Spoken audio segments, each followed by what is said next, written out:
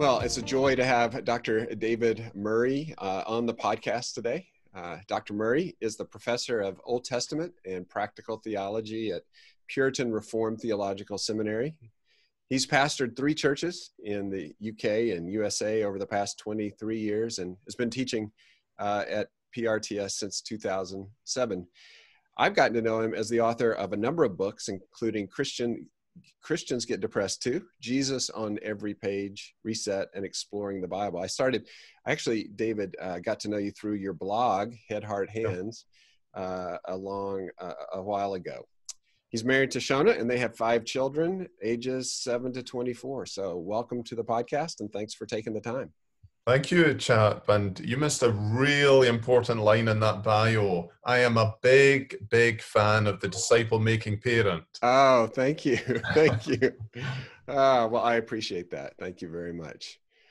Well, you, uh, the reason I'll ask you back is uh, you have just recently released uh, two two resources to get us back into the Word, and so we're going to be talking about first here exploring the Bible together, uh, a 52 week family worship plan. So, talk, tell me a little bit about why you wrote that.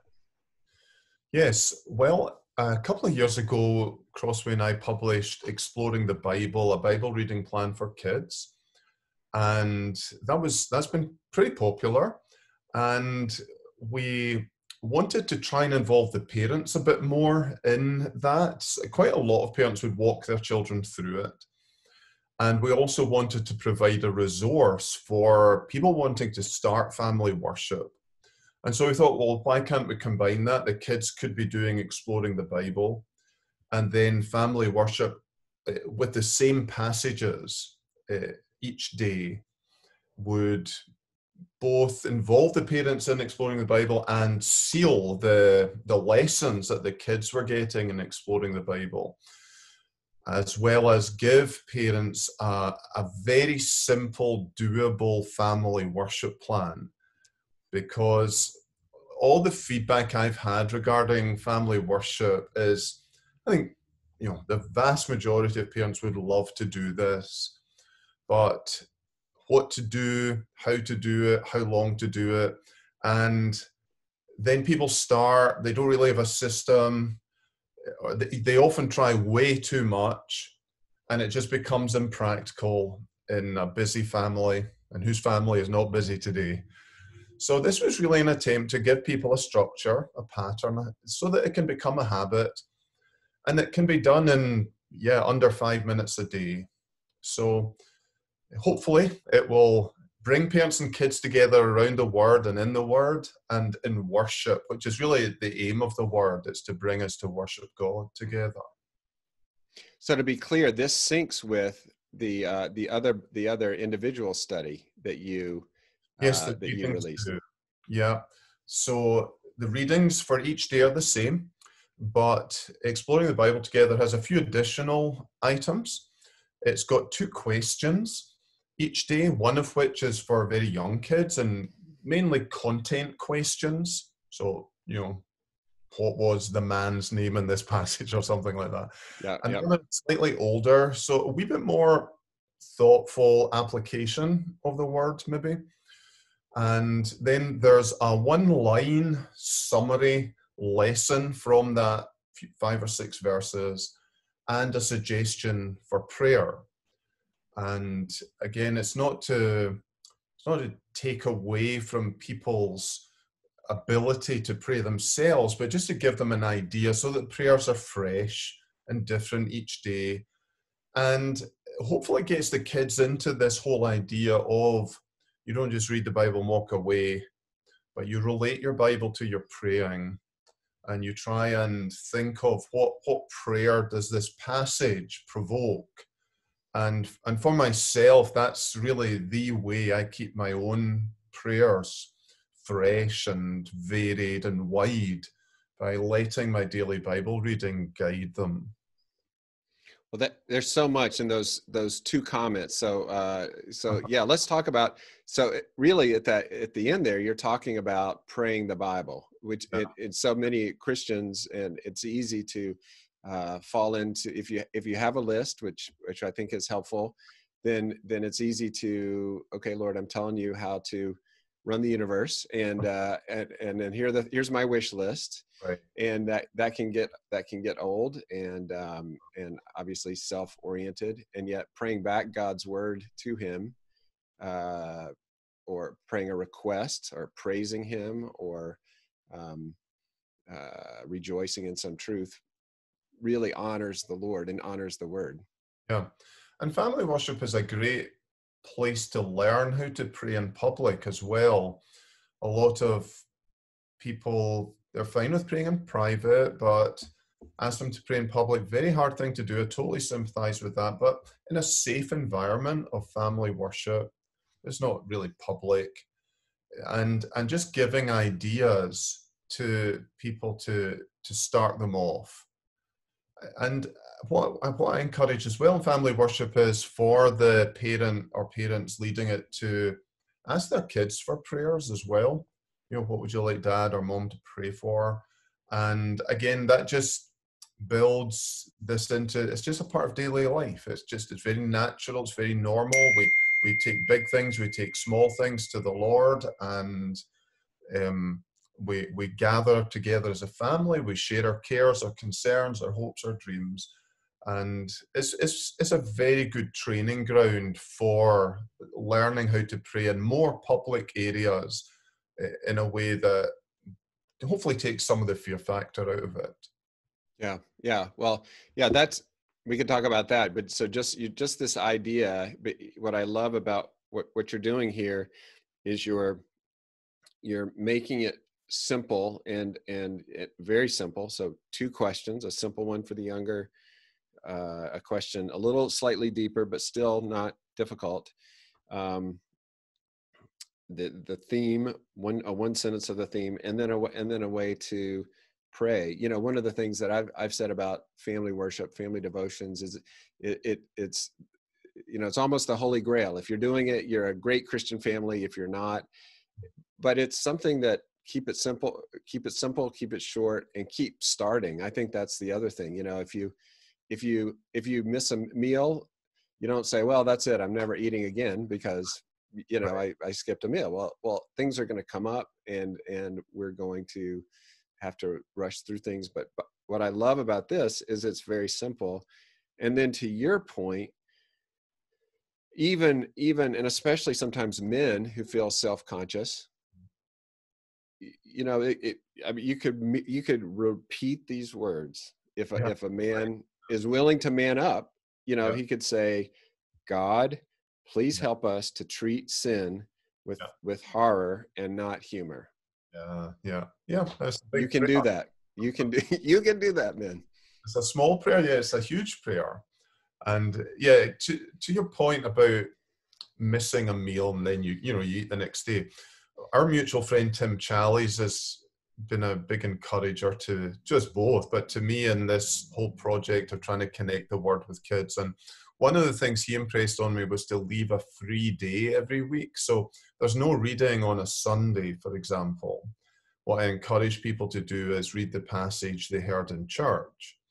And then I give some questions that can be asked of every sermon that's preached. And but that also gives just a little bit of margin for that busy Friday, busy Saturday, where people can catch up and they don't feel guilty. Um, I mean, maybe I just opened the book there. Here's just a quick example of maybe it would help people grasp. So I've opened it Thursday, Ex- Expedition 12. So I try and portray this whole uh, book as, as 52 expeditions through the Bible. And Expedition 12 is a special promise of a special king. And there's a little introduction just to give context to 2 Samuel 7. And then say on Thursday, we're reading 2 Samuel 12, verses 1 through 6, and it's entitled Nathan Illustrates David's Sin. So the father would just say, Let's read this. Uh, this is entitled David uh, Nathan Illustrates David's Sin. I said father, it could be a mother, of course. Yep. And then there are these two simple questions. Number one, for younger kids, in what way is David like the rich man in Nathan's story?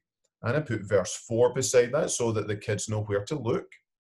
And I give the answer he stole another man's wife when he already had one himself. And then, slightly harder question what does David's response to Nathan's story teach us? So it's asking him to draw a conclusion, do a little bit of analysis, and says we can be outraged and angry at other sins, but ignore or excuse our own. And then the, the takeaway lesson we can be blind to our worst sins, but be very critical of them when we see them in others. And the prayer thank God for faithful pastors who show us our sins and pray that we will be more angry with our sins than with other sins. So I hope that just gives a, a flavor of how simple. I mean, what that that would take you what three or four minutes or something. Yeah, yeah, yeah, and that's yeah, that's that's great. Um, uh, and I, I, as I was looking through it, I loved you even give us the answer. So you know, like, oh, good. I've been teaching it's, students for too long. it's the teacher's guide with the answers uh, in there. Yeah. So I just think this is this is this is crucial. Um, you know, if you if if if and I was guilty of having too high of expectations, and you know, the kids say, you know, uh, you're boring and and then uh, listen to myself and well actually i am boring you know uh, yeah. and so this is this is perfect in the sense that uh, asking questions and uh, and having the answers right there so and you so yeah you think yeah take five four or five minutes each time and i mean obviously sometimes you hope that there'll be a longer discussion it'll provoke questions and it'll provoke um, challenge and um, uh, you know, these are the best times of family worship, aren't they? When it just opens up into a really serious, heartfelt um, seeking of the Lord and how to apply His word to our, our lives. Now, that doesn't happen every day. Sometimes doesn't happen for many weeks, but when it does, it's it's such a blessing. I think that what what you just said again is so important because um, I, I I'm a football guy, and and I just compared it. If if you know you're running play, running play, running play, and every so often one breaks loose. And so the idea is if if I'm consistent and if I lower my expectations to four or five minutes, and so this is something that's doable, and we just do this like you talked about, and it's four or five minutes. Then sometimes we have to quickly leave, or sometimes everybody's like, "Yeah, okay, that's great." But there are those times, and they're they're just they're Holy Spirit moments where someone will ask a question and you uh, somebody else will chime in and and it's just much deeper and you feel like you've been given a window into their heart and you're just having a very natural discussion. That's right and and you hope that that habit will make it easier for parents and kids to just talk about the bible together outside of family worship time and uh, it just becomes a more natural part of life that just as you talk about football or the weather or your yard that you talk about how god's word interacts with every aspect of our lives so mm. uh, my own you know over 30 years of being a christian i've i've realized that the way forward in the christian life the way to growth is not through extraordinary acts, but ordinary, regular habits that you, you've got to watch they don't become routine and mechanical, but as long as you keep praying and, and seek the Lord, yeah, there can be these beautiful moments of blossoming and flowering and fruit that you wouldn't actually get usually if you didn't just go through the daily habit. Hmm. Yeah, that's good. That's really good. Well, we we in your just as a final encouragement here, uh, in your beginning, talk just hopefully we've laid out how easy it is, but talk about some of the benefits you've the, in your uh, introduction, the importance of family worship there. Just uh, give us give us kind of a charge there to say yes, you can you can do it. And and actually, this perfect time. This is time you know with the um, with the pandemic, we're we're at home. Um, I know. I know. Yeah. So, yeah. Give us kind of a charge there. I mean, I, I, there's no explicit command in scripture to have family worship as I've outlined it there, but I think it's implied in parental responsibilities that we disciple our children with the word, and this is just one way that we can make that more regular. So I think you're obeying an implicit command of scripture, which always brings a blessing. I think also it, it brings your family together. Uh, you know, it's so hard at times to actually get together as a family, even for a meal. Um, but to come together in worship has got to be good for everyone. It's got to be good for the unity of the family. I think it also changes our worldview. So, you know, we take in so much through our eyes and our ears and all our senses every day through the media, education. And this is just an opportunity to take a divine view of things, to, to get above the, the noise and the smoke and get some clarity, get some perspective, put things in scale, which usually means shrinking big things down quite a bit and, and often making small things bigger. And I think uh, it also leaves an indelible impression that, you know, when you, when I, so we didn't have family worship in my home growing up for the first, I would say, 10 years. And I think I was probably 11 I'm guessing 11 when my father and mother started it. I don't forget it.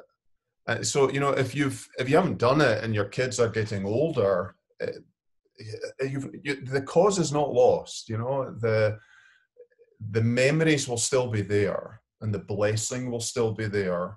And and I, I really believe that that God blesses this in a in a not as much as the preaching of the word, but in a very special way, I, I believe he blesses family discipleship like this.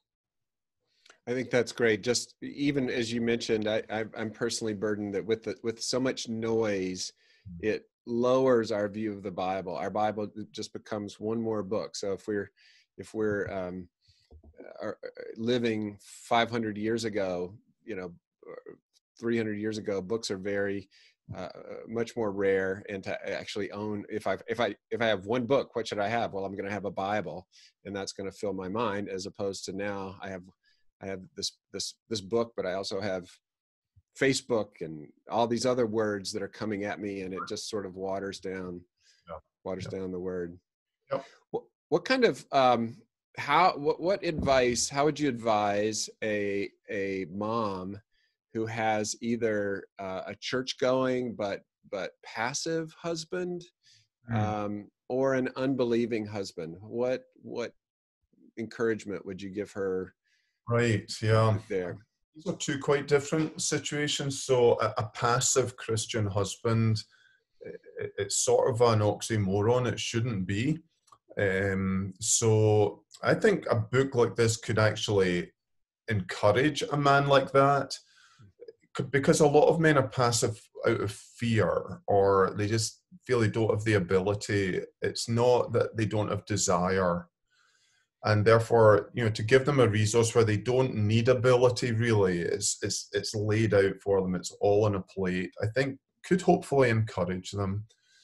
Um now an unbelieving husband obviously if it's a believing wife i would much rather she would lead the family worship obviously. Um but I mean, I've known situations where a, a, wife's faithful leading of her family in Bible reading and prayer has has been blessed to her unbelieving husband, and it's been a, a real rebuke to him. It's one thing to avoid church every week, but you know, to actually be um, not involved in this daily family activity, which is a priority, then that, that's very, I would say that's convicting to a lot of yeah. men. Yeah.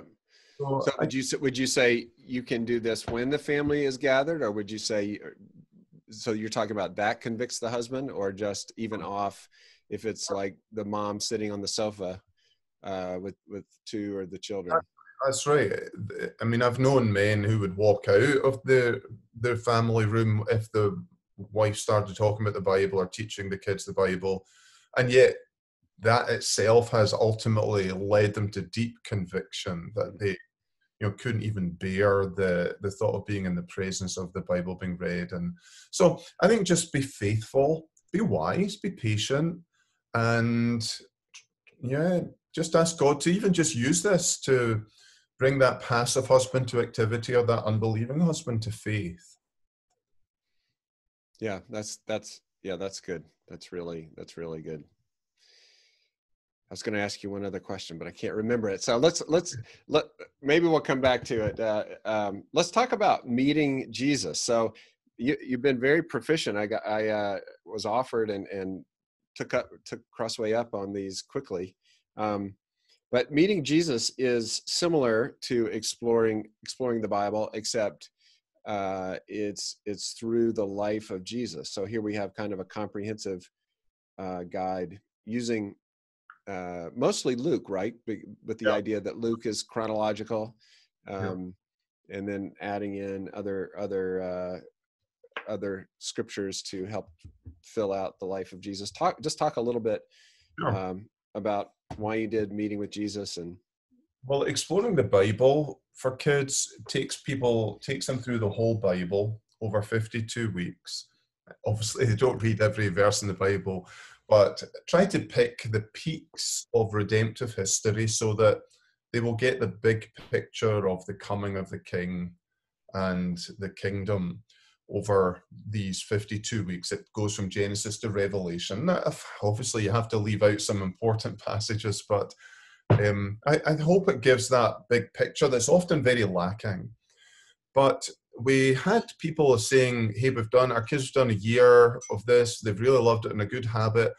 Have you got another? Like, what's number two? And so we thought it'd be a good idea to just zoom in on the life of Jesus so you, you get the big picture, and then, okay, we've covered you know elements of Christ's life and death and resurrection in exploring the Bible. But let's now just give 52 weeks of just focused on this glorious, beautiful Savior. And so, yeah, we, we mainly use Luke and supplement, say, with Sermon on the Mount and some of the other parts and some of the other Gospels, which are uh, you know helpful to kids. We try to keep that in view. The upper room discourse, some of the from right. John. Yeah. Yeah, that's right. Yeah. And some of the beautiful parables and the so yeah, I would say probably 80 to 85% is Luke, and then the rest is supplement from the other gospels. And hopefully it again just gives people that gives kids that big picture view of that narrower part of scripture and by the end of two volumes of that, you know, you're hoping that the appetite will be there, the habit will be there, and you've given them the tools to go on and and do their own Bible reading in you know shorter segments and trying to apply the same principles. And and obviously our, our ultimate hope is that they meet with Jesus. Right, right. And, and that's I think that's the great joy, isn't it, of when we write books that you just hope and pray that this will be the means of people coming face to face with Christ and loving Him and trusting in Him and following Him for the rest of their lives. I think that's really uh, it's it's really helpful, um, and I wonder. So so the, the, the aim of this is six to twelve year old. Is that right? That that's the... I mean, a six year old could do it.